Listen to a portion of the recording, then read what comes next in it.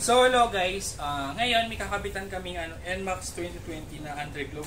So itong underglow na to, yung sa mga previous video na pinakita namin sa inyo, which is nilagay namin sa H100. Ngayon, ah, i-adapt namin siya papunta ng motorsiklo. So originally, itong LED na to is for car or ibig sabihin pang kotse, pang underglow siya. Pero adapted to for the motorcycle at pwede natin gawing underglow o sa ilalim.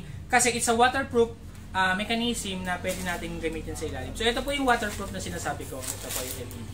Yan. Waterproof po yan. So kahit mabasa po siya, hindi siya ganun ka prone into ano ah, masira kagad. Tapos nung naman balas kasi, ah, pwede itong itago doon sa loob. So dun sa mga part na hindi mababasa ng sa part ng ating motor, which is yung NMAX. So mapapansin niyo po, ayan, kinakabit na siya. May na-mounting na siya ng ating mekaniko na si Roldan. Ayan, ah, pinopoint niya na. Ang kagandahan po sa kanya is apat. Ang ah, sa apat na yan, pwede mong combinations ng dalawa sa likod, dalawa sa harap. So gagawa nila ng position yan and then uh, imamount dun sa ating motorsiklo which is yung NMAX. Kaya antayin nyo mamaya pag nag-demo kami kapag gumagana na yung apps at the same time is yung ilaw niya. So, tetestingin namin siya dito sa loob. Kung may papasok namin siya dito, tapos papakita namin sa inyo yung underglow. But sad to say po, ah, nasa tatlong piraso na lang po yung available namin siya. Originally po, yung price nito dati is around 800. Pero ngayon, 400 na lang siya kasi uubusin lang namin siya. Kaya sa mga kakapag-avail nito, yun, napakaswerte niya po kasi hindi na kami nag stocks nito.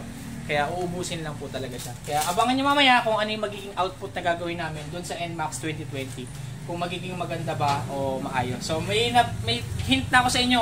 Wala kaming sisirain sa kanya or wala kaming kakati na wire kasi nakita ko yung saksakan niya. Pwede pwede. Pakita ko sa inyo mamaya.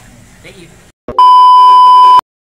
So hello guys. Oh, ito na ah, tapos na yung NMAX na 2020 na nilagyan natin ng underglow. So pakita ko muna sa inyo ah, kung saan namin siya nilagyan ng power.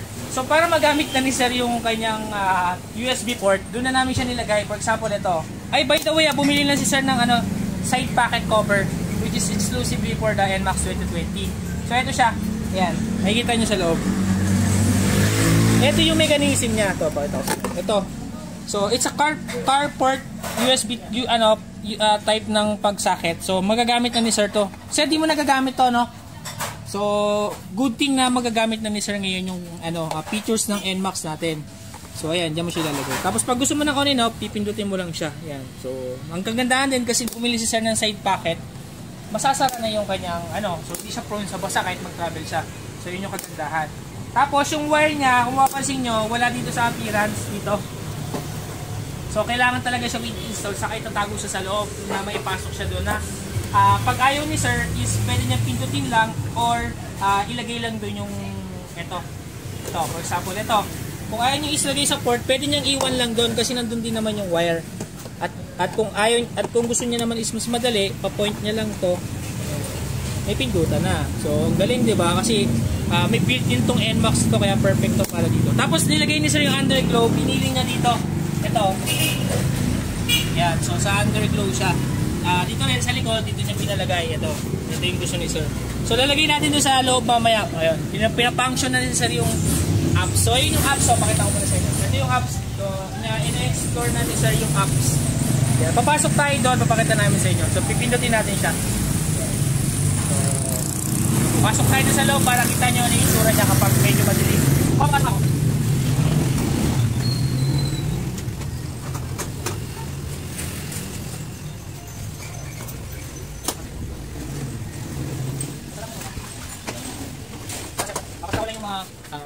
Ilaw?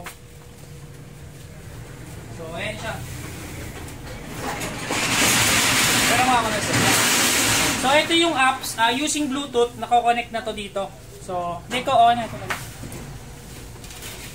Ito, using the Bluetooth, yan. Ito yung apps makukuha niya, which is yung LED Ble. So, ito po yung apps, yan, yung LED Ble. So, ito, buburayin na to kasi dalawa yung lumalabas sa internet So, si Sir na bahala dyan. Okay. So, ito yung apps, yung LED eh. Tapos yan, yan, nakikita nyo, nakakonect na siya.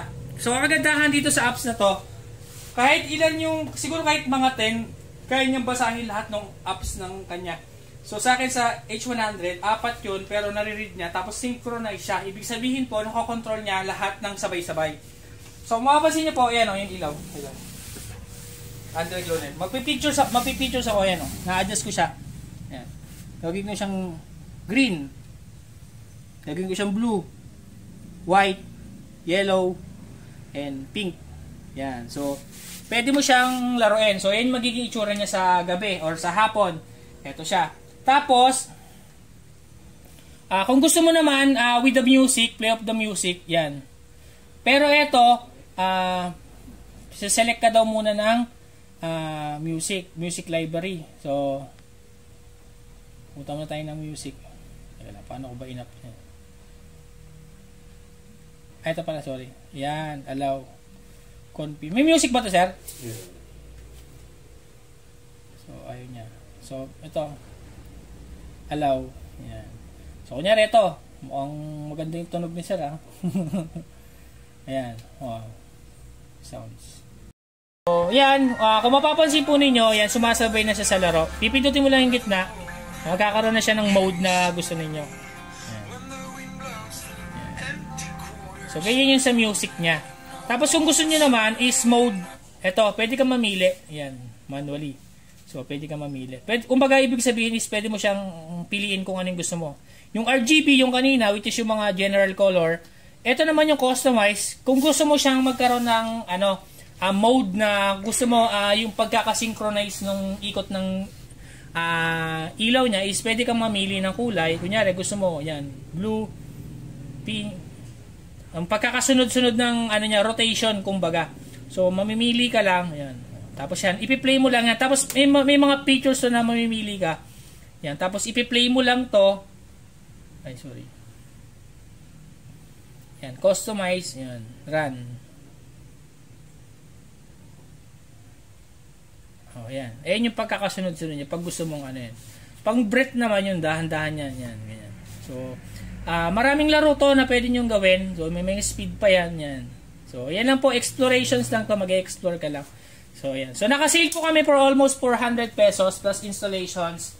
Uh, actually, kahit DIY, kaya nyo itong gawin kung nakakapag-explore kayo internet. So, ito po yung sample na kinabit namin for the NMAX 2020 at the last time is yung H100. So, yun po. Meron pa kaming mga tatlong peraso. Kung gusto niyo po, pwede po kayong pumunta sa amin dito sa Secret Shop. Yun.